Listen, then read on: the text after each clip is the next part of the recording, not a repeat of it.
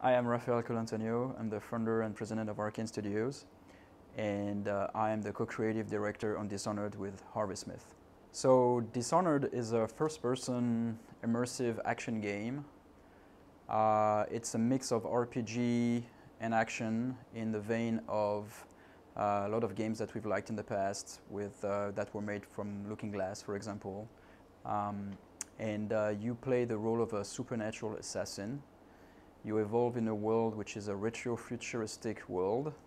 Uh, it's like grounded in, um, the, the, the, base layer is in London, uh, 1666. That's how we started. And then we started to add a lot of layers to, so that it became our own world. So, you know, the people have figured out a way to process the whale oil to make it a very explosive, very uh, vibrant um, uh, material that is used for energy. So you will see devices like Tesla light kind of uh, wall of lights to, to, that are used as security devices or something that we call the watchtowers and the arc pylons.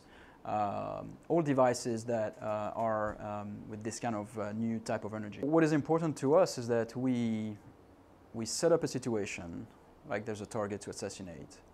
Uh, and there are guards patrolling, there might be some security devices, uh, there might be environmental animals like rats we give you a set of tools. Uh, some of them you've chosen yourself.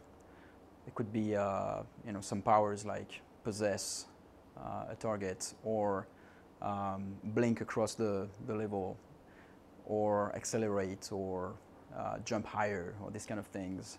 Uh, you have like your, your weapon, your set of weapons. And then it's your choice to approach the situation the way you want and let the simulation resolve it. So for example, we designed a freeze time spell, so you, you, you can freeze time. And, uh, and then there's another uh, mechanic where NPCs can actually uh, shoot at you.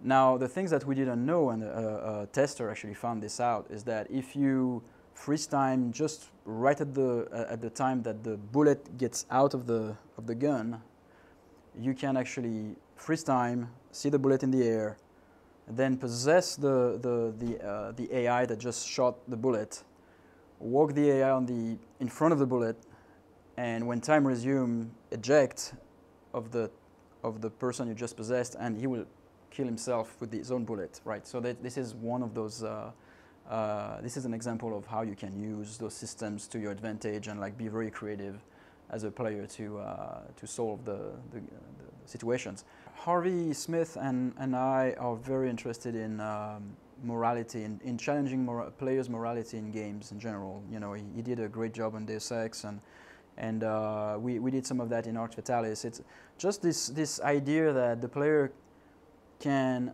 arrive in front of a situation and make a choice is, is really interesting. Like, am I going to kill this person or, you know, if he begs me, am I still going to kill him?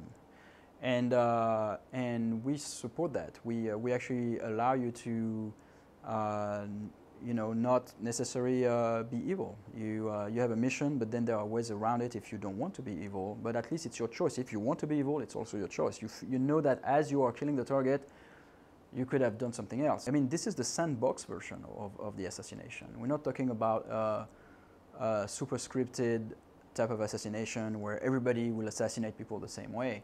Uh, in, in our game, there is like this uh, simulation dimension, which is very important, which lets you do it the way you want. So that brings to the, the chaos system. If you kill unnecessary targets, these scores go higher and higher, and then there are consequences. So it's a little more analog than did you make this choice or this choice at this moment of the mission, therefore this character doesn't come and help you. We, we also have those kind of choices, but we have this like kind of aggregate, like this, this calculation, which has impacts on gameplay. For example, like the, the, the world gets darker and there are more rats in the environment if you have been more chaotic, basically.